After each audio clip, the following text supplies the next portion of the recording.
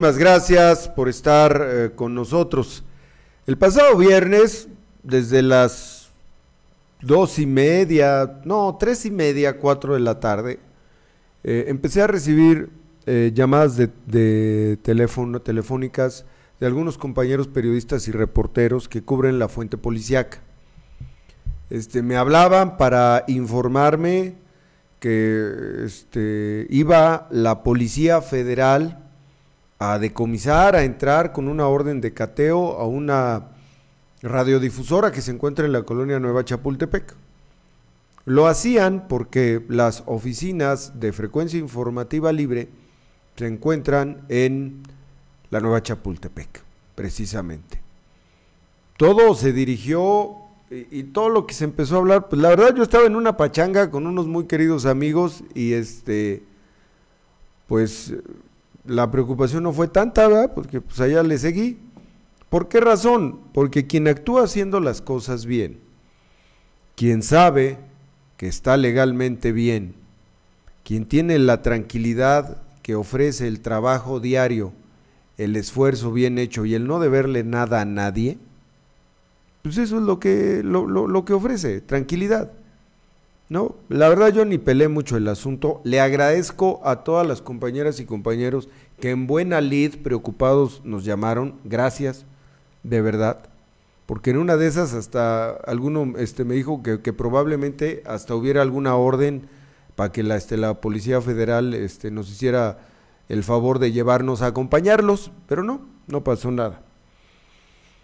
Eh, horas más tarde, al siguiente día, eh, una nota que se publicó en un diario, firmada por un este, reportero, lo voy a dejar en esa condición, si pudiéramos hasta verlo en mi pantalla, por favor, llamado Leovigildo González, habla de que la PGR efectivamente hizo un operativo en el cual una este, radio eh, fue le quitaron los aparatos y no le permitieron continuar con la transmisión debido a que lo estaba haciendo de manera ilegal. Pues está bien, ¿no? Para eso están las autoridades, para hacer su chamba. Hace este un recuento en el cual habla que este, este operativo se llevó a cabo a cerca de las 4 de la tarde del día viernes próximo pasado en la calle Aristeo Mercado, en la colonia este, Nueva Chapultepec, ¿no? La señal, según esta nota, se emitía a través del el 95.5 de frecuencia modulada. Yo debo serle franco, yo jamás la escuché. ¿Tú la oíste? Se mete una de León. No, sí, o sea, yo nunca la escuché, pero bueno, llegaron y desmantelaron esta radiodifusora que estaba actuando de manera ilegal y sigo tomando como fuente la nota de esta persona, Leo Vigildo González. Posteriormente viene un, un, arranque, no sé por qué lo hizo, de verdad lo ignoro por qué lo hizo, cuáles fueron sus razones. Pero en una parte de la nota, que es lo que este nos llama mucho la atención, dice,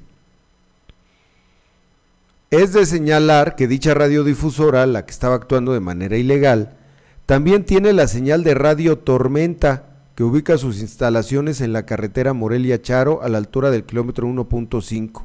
Sin embargo, el lugar no fue cateado por las autoridades de la PGR. Si no fue cateado y, y si no existía una orden, no entiendo la relevancia de señalar a Radio Tormenta. Peor aún, aquí es donde le digo que está la mala leche. El dueño de la citada empresa de radiodifusión es Abdiel López Rivera, quien durante varios años era el conductor del programa Micrófono Abierto, el cual fue dado de baja de la empresa XCI. En el operativo aparentemente fue requerido López Rivera para que responda por la operación de la citada empresa. Asimismo, Abdiel tiene un programa denominado Micrófono Abierto de 8 a 10 AM en la radio Tormenta, que también tiene en amplitud modelada, no sé cuál sea la amplitud modelada, pero ahí dice, que es parte de la misma empresa. Radio Cristiana y Tormenta comenzaron a operar como señales sin fines de lucro ya que eran religiosas. Sin embargo, la programación también incluía noticieros con publicidad. ¿Qué tal? Pues mire, este, en primer lugar, yo te voy a preguntar, Félix, si tú alguna vez escuchaste que Radio Tormenta fuera una señal religiosa. Nunca ha sido. Música, buena música, música para todos los gustos, sí. Buena música. Y, nada más, ¿no? Está tan legalmente establecida que nosotros seguimos a través de sus eh, frecuencias en este momento. Yo tendría mucho cuidado, eh, señor reportero Leo Vigildo, en, en decir a sí mismo Abdiel, porque no, señor, no son iguales. Usted debe tener primero el respeto para una persona que ha dedicado toda su vida a su radiodifusión y cuidar el no cometer la falta de cortesía de tutearlo de manera pública. Eso lo enseñan no en las escuelas de comunicación, no lo enseñan en nuestras casas. Es una cuestión de educación. ¿No? Ahora, este, creo que usted desconoce también, señor reportero, la trascendencia que tuvo el programa Micrófono Abierto para la vida pública de México. Ni siquiera de Morelia, ni siquiera de Michoacán, no, de todo el país. Y que sobre el proyecto del doctor Abdiel López Rivera se han cimentado otros muchos proyectos de comunicación que tomaron esa idea y que la convirtieron hasta llevarlo a ser ya un referente de cómo se hace radio en interacción en varias partes del país. Frecuencia informativa libre, todo el trabajo que hemos hecho en las distintas casas que nos han hecho el favor de abrirnos sus puertas, mucho tiene que ver con lo que hizo el doctor Adviel López Rivera. No tenemos el micrófono abierto, pero tenemos nuestros mensajes de texto, tenemos también las redes sociales y tenemos muchos espacios en los cuales procuramos, como lo hizo el doctor Abdiel, darle el espacio a las personas para que se expresen. Eso es mucho, muy importante decirlo. Y sí, durante varios años era el conductor, no, no era, este señor, le vuelvo a aclarar, señor reportero González, ¿se apellida? Sí, señor reportero, no, no era, es, es el conductor de micrófono abierto, también. Y me parece una verdadera falta de respeto a la profesión, a quienes elegimos el periodismo, el comunicar como una forma de vida, la siguiente línea. En el operativo aparentemente fue requerido López Rivera para que responda por la operación de la citada empresa. Como un, y, hay varios en este momento escuchándome, como un reportero de la fuente policíaco, de cualquier fuente, puede hablar que en un operativo fue aparentemente requerida una persona, cuando lo primero que se debe de poner a salvo es la fe pública. Y cuando lo primero que enseñan en las escuelas, para quienes estudiaron, ¿eh? yo no, yo no estudié periodismo, y siempre lo he dicho, pero lo que enseñan en las escuelas es que no se puede jugar de esa forma, con los tiempos o con las formas. De decir, que una persona que goza de una reconocida, una reconocida trayectoria profesional, además de ser un hombre admirado y querido por la comunidad de Morelia, decir que aparentemente fue requerido. Yo no lo entiendo de verdad. Se me hace un, un exceso, un exabrupto innecesario. ¿No? como lo que ya mencioné también. Si Radio Tormenta no fue cateada, no tiene ninguna orden. Si usted, este señor reportero González, no se tomó la molestia de contrastar la información y preguntar y averiguar si efectivamente este es un proyecto legalmente establecido, estamos hablando de que son párrafos de supuestos que tienen una única finalidad de causar daño. Eso no está bien. Eso no está bien hablar de supuestos. No le hace bien a nadie que verdaderamente se dedique, quiera y admire o haya tomado la decisión de vida, o sea, de vivir, de morir, haciendo esto que es comunicar. No se le puede causar daño hacia una persona, a cualquiera, basado en supuestos. No se puede hacer. No se puede decir que tal persona fue detenida por este, autoridades federales porque, se anda, porque anda chueco, porque yo me imagino, o porque me dijeron, o porque, como lo refieren redes sociales, su única fuente fue un soplón. Ojo, eh, ojo también autoridades federales. La única fuente que se menciona para esta nota fue un soplón, lo estoy diciendo con todas sus letras, fue un soplón de la Procuraduría General de la República.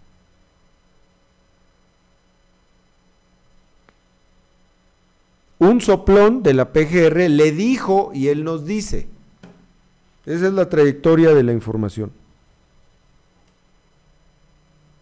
Este, no quiero yo pensar mal, hasta si pudiéramos ver mi pantalla, por favor. No quiero pensar mal, pero sí este, me doy cuenta que, que hubo una tendencia muy negativa al momento de que esto se presentó.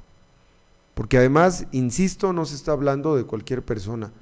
Señor González, no se está hablando de usted o de mí, no, se está hablando de alguien que le dio forma no solamente a los medios de comunicación, sino al negocio de la comunicación en el estado de Michoacán, que es conocido y reconocido por periodistas, reporteros y por los directivos de los medios de comunicación. Eso es bien importante también que no lo pierda de vista. ¿No? Creo que esto, en lugar de causar mella, ha venido a fortalecernos a todos, los que creemos en este proyecto, los que hemos sido invitados a participar. Nos ha venido a fortalecer. Y eso lo debemos de agradecer porque acicates como este es lo que le permiten a uno o crecer o arrodillarse. Cosa que tampoco, señor Leovigildo González, yo no he hecho nunca. Por eso me ha ido como me ha ido, porque no sé lo que es inclinar la cerviz, ni poner una rodilla en el piso. Para dar gracias a Dios lo hago todos los días. Para besar las manos de mis hijas lo hago todos los días. Para ponerme y reconocer a mis padres, a mis suegros, a mi abuela, para hablarle de amor a mi esposa, lo hago, pongo la rodilla en el piso. De lo demás, creo que hay mucha gente a su alrededor que le puede dar testimonio que para otras cosas no lo hago. Y le reitero, por eso me ha ido como me ha ido. Y mire, aquí seguimos. Y seguimos bien, gozando de cabal salud. Yo verdaderamente no espero que haya una corrección a esto que se dijo. Solo espero ya que yo lo que siempre he pedido, lo voy a pedir, en este caso a nombre propio y personal, pero estoy cierto que también compartirán estas palabras y estos conceptos tanto el doctor Abdiel López Rivera como Eli López también. Déjenos trabajar. De verdad, a usted que lamentablemente es solamente un instrumentito y muy chiquito y muy piñata. Este, déjenos trabajar. Eso, eso, es, eso es nada más lo que yo pido. Y es lo que siempre hemos pedido y voy a seguir pidiendo. Y lo pido por favor y lo pido con todo respeto.